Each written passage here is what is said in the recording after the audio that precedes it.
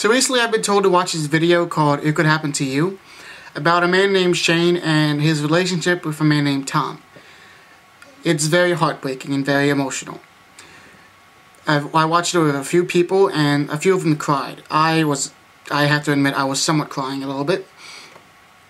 And it, as I said, it's very heartbreaking. Uh, I don't want to uh, say much about it because I want you all to actually go watch it and spread it yourselves. Because, well, it's very emotional and, and it's very upsetting. A man named Shane was dating a man named Tom.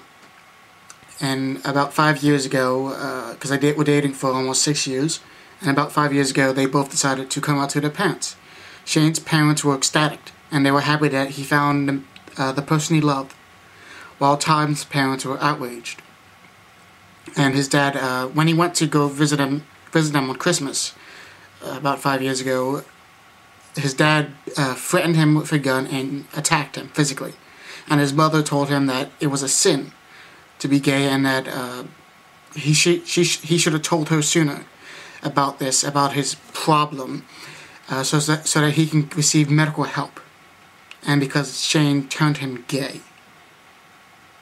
And then after he returned uh, from the holidays back to uh, where he and Shane lived, they didn't. He didn't really speak much to them, and did not consider Indiana his home anymore.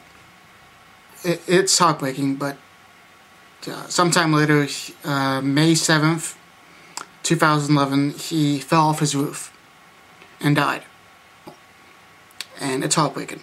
It's heartbreaking, and I suggest you should just go watch the video yourselves. The link will be in the description box below as well as the annotation right here.